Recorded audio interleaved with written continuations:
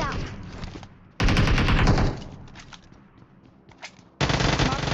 अब यहाँ पे हमने सबको ठिला दिया था। अब मेरे को लगा कि यहाँ पे कोई भी बचा हुआ नहीं होगा। लेकिन लेकिन लेकिन यहाँ पे हमारा एक पड़ोसी हमारी लड़ाइयों का मज़ा ले रहा था। अब मुझे इसके फुटस्टेप जैसे ही आते हैं ना मैं निकालता हूँ अपना ग्रेनेड और अब देखो। ये ले। लेकिन इसकी हरकतें देख के मैं हैरान हो गया। अब देखो।